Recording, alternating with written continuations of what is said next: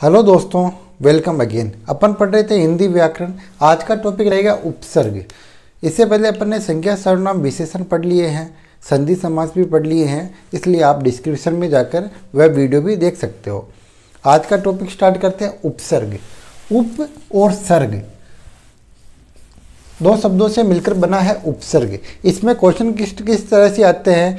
निम्नलिखित में से संस्कृत का उपसर्ग कौन सा है? कोई शब्द दे देंगे आपको, दुर्व्यवहार दुर्व्यवहार के अंदर कितने उपसर्ग है, अप्रत्याशित के अंदर कितने उपसर्ग लगे हुए हैं। निम्नलिखित में से वह शब्द बताइए जिसमें दो से अधिक उपसर्ग लगे हुए हैं। इस प्रकार के क्वेश्चन पूछे जाते हैं। तो उपसर्ग किसे कहते हैं? सर्ग का अर्थ होता है मूल शब्द। और वह शब्दांश जो शब्द के पहले जुड़कर, आगे जुड़कर शब्द का अर्थ परिवर्तित करता है, उसे उपसर्ग कहते हैं। वह शब्दांश जो शब्द के आगे जुड़कर अर्थ परिवर्तित करते हैं, उन्हें हम क्या कहते हैं? उपसर्ग। उपसर्ग संस्कृत में उपसर्ग के कितने भेद होते हैं? उपसर्ग के तीन भेद होते हैं। संस्कृत, हिंदी और विदेशी। मोस्टली कौन कौन से? संस्कृत, हिंदी और विदेशी। संस्कृत में कितने उपसर्ग माने गए हैं? तो आंसर होगा 22 संस्कृत में कितने उपसर्ग होते हैं? 22 प्र, परा, अनुसम अवपि अवपनिर्निजान विदुर, सुनी, अति, प्रति, गिनो, उप, परि, उत, दुष्मान। ये होते हैं 22 उपसर्ग। कौन कौन से प्र, परा, अनुसम, अव, अपि, अभि, अव निरनिस, विदुर, सुनी, अति, प्रति, गिनो ऊप परि, उत, दुष्मान। एक एक को अपन देखेंगे। प्र जैसे हार शब्द के आगे प्र लगाया तो क्या बन गया प्रहार? शब्द के अर्थ में परिवर्तित हो गया प्र प्लस बल, प्र प्लस योग प्रयोग। प्र उपसर्ग से कौन कौन से बने हैं? प्रहार, प्रबल, प्रयोग। परा जय का अपोजिट हो गया पराजय। अधीन, परा प्लस अधीन, पराधीन। अनु जय का मतलब होता है जन्म लेना, अनु, यानी बाद में अनुज, जो बाद में जन्म लेता है अनुसरण फॉलो करना, अनुसरण, सम, संसार समदनसार समदन योग, संधि में पढ़ा था, अपन ने व्यंजन संधि में, सम, संसार, संयोग हो गया, सम का, अव, अवगुण, अवसाद, अपि, अपितु, अपिदान, अभि, अभिमान, अभिवादन अप, अपमान, अपयश, निर, निर्बल, निरपराध, वि, विदेश, विभाग, दूर, दुराचार, दुर्जन। ये अपन ने ग्यारह उपसर्ग देखे संस्कृत वाले। नेक्स्ट अति। अति किसके साथ लगा हुआ? अति प्रिय। प्रिय प्लस अति अति प्रिय। अति धन अधिक। कौन सी संधि? यण संधि। अत्यधिक।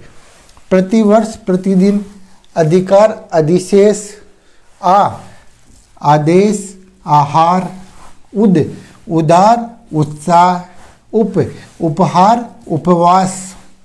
नि से बना निवारण, निषेध। परि, प्लस आवरण, पर्यावरण। परिवर्तन सुयोग्य सुलभ, स्व, स्वतंत्र, स्वदेश। इसी प्रकार निस अब ध्यान रखना, यहाँ पर स, ये आया, लेकिन संधि के अकॉर्डिंग ये चेंज होगा। स और श।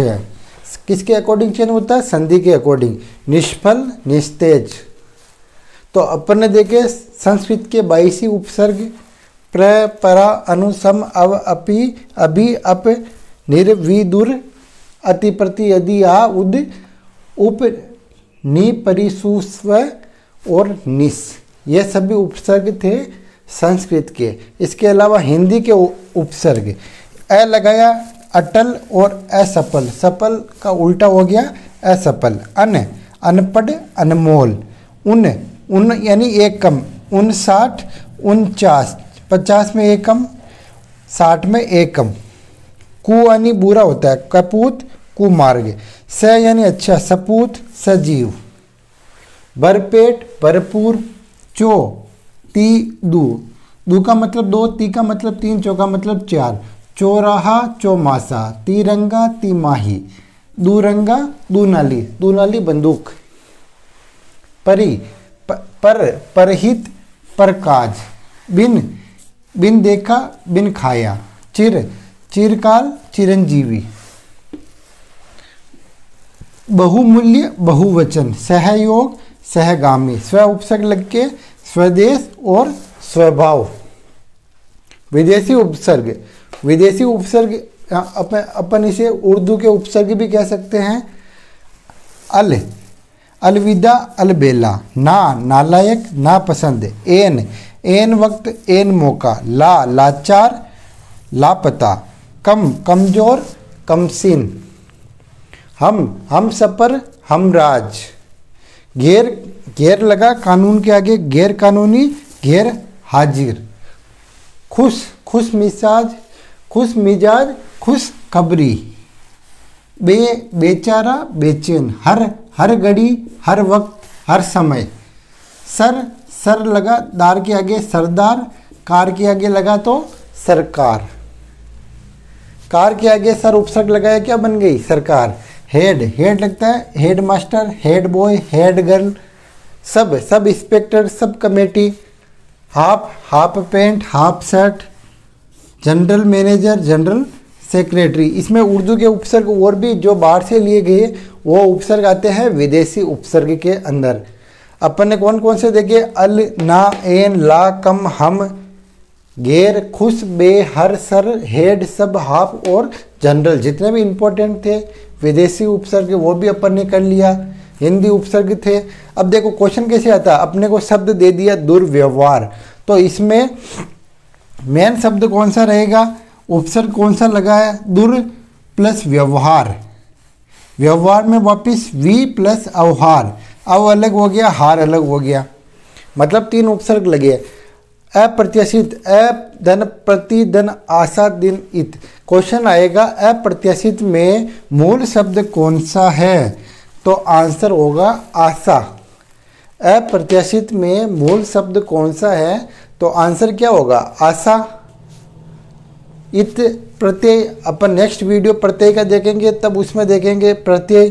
प्रति उपसर्ग हो गया, अ उपसर्ग हो गया। उपसर्ग वह शब्द जो, वह शब्दांश जो शब्द के पहले जुड़कर अर्थ में परिवर्तित करते हैं, उन्हें उपसर्ग कहते हैं। सर्ग यानी मूल शब्द। उपसर्ग कौन कौन से देखे? हिंदी के, संस्कृत के और विदेशी। संस्कृत में कितने उपसर्ग होते हैं? 22 हिंदी में हिंदी में अपन ने जितने भी इम्पोर्टेंट थे, देखे अ अटल असफल अन, अनपढ़, अनमोल, बहुत सारे उदाहरण होते हैं, लेकिन अपन बेसिक समझने के हिसाब से दो दो उदाहरण हर उपसर्ग का लिखा। अन, अनपढ़, अनमोल, उन, उनसठ, उनचास, कु, कपूत या कुमार्ग, स या सु, सपूत या सजीव।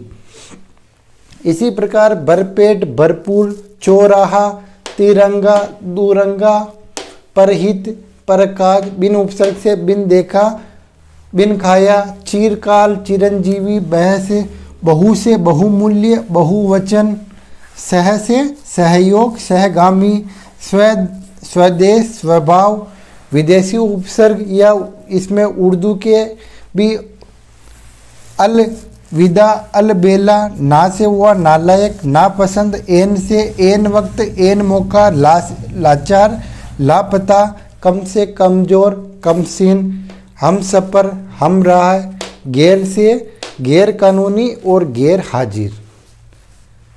खुश, उपसर्ग लगा के अपन ने बनाया खुश मिजाज, खुश खबरी, बे उपसर्ग लगा के बेचारा, बेचैन, हर घड़ी, हर वक्त, सर सरदार, सरकार head master head boy head girl sub inspector, sub committee, half pant, half shirt, general manager, general secretary. उपसर्ग में इतना ही। एक बार आप वापस देखिएगा और जितने भी बुक में और उदाहरण हैं, उन्हें आप सोल्व कीजिएगा, आपको उपसर्ग समझ में आ जाएगा। इसमें क्वेश्चन यही आता है कि भरपेट में कौन सा उपसर्ग लगा हुआ है, अलविदा में कौन सा लगा हुआ है हेड मास्टर में कौन सा लगा हुआ है, खुश मिजाज में कौन सा उपसर्ग है। इसके अलावा कोई शब्द दे देंगे दुर्व्यवहार में कितने उपसर्ग हैं, मूल शब्द कौन सा है, इस प्रकार के क्वेश्चन पूछे जाते हैं। या फिर संधि से रिगार्डिंग भी क्वेश्चन आ सकता है, जैसे अपन ने देखा था, यहाँ पर संधि है, व्यवहार में और यहाँ पर भी देखा था बहुत सारे शब्द जिसमें संधि थी। सम संसार सम उपसर कहा गया? जैसे संसार, संयोग, पर्यावरण। तो संधि से भी क्वेश्चन आ सकता है, उपसर्ग से भी आ सकता है। इसलिए आप पढ़िए इनको। थैंक्स फॉर वॉचिंग वंदे मातरम। जय हिंद, जय भारत।